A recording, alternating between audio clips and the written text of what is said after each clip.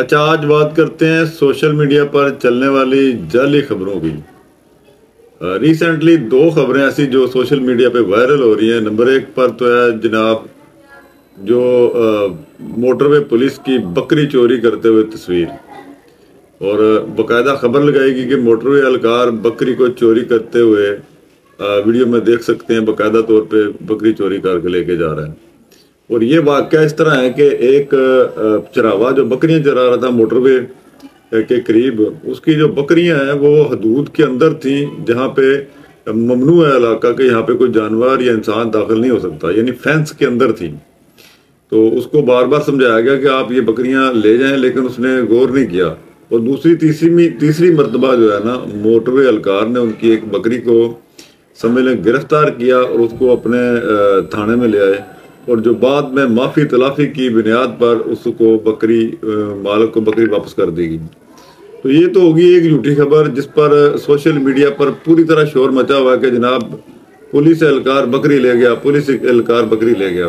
لیکن بہت سارے لوگ اس بات کی تحقیق سے محروم رہ جاتے ہیں کہ آیا حقیقت کیا ہے اور حقیقت تک نہیں پہنچ پاتے۔ اب آتے ہیں دوسری خبر۔ دوسری خبر یہ ہے کہ جی ایک پولیس والے نے دو پولیس والوں نے ایک بندے کو کان پکڑوائے اور اس کے بیٹے نے دونوں پولیس والوں کو جو ہے نا وہ مار دیا۔ یہ خبر بھی دو ہزار بیس کی ہے یعنی تازہ خبر نہیں ہے۔ اور اس خبر کو ری پوسٹ کر کے جو ہے نا وائرل کیا گیا اور اس پر جو بینیفٹ لیے گئے ہیں سوشل میڈیا کے حوالے سے۔ تو اس چیز کی تحقیق بہت ضروری ہے کہ ہم کس طرف جا رہے ہیں۔ کیونکہ جو چیزیں وائرل ہوتی ہیں، ان میں حقائق کو پہچاننا بہت ضروری ہے، ورنہ بہت بڑے نقصان کا اندیشہ بھی ہو سکتا ہے۔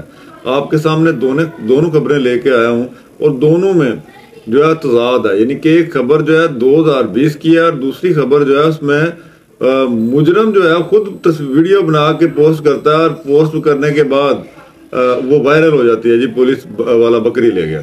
تو یہ چیزیں اس پر غور کریں تاکہ آنے والے وقت میں ہم کسی ایسی مشکل کا شکار نہ ہو جائیں جو ملک کو قوم یا کسی بھی طرح کے فتنے کا باعث نہ بن سکیں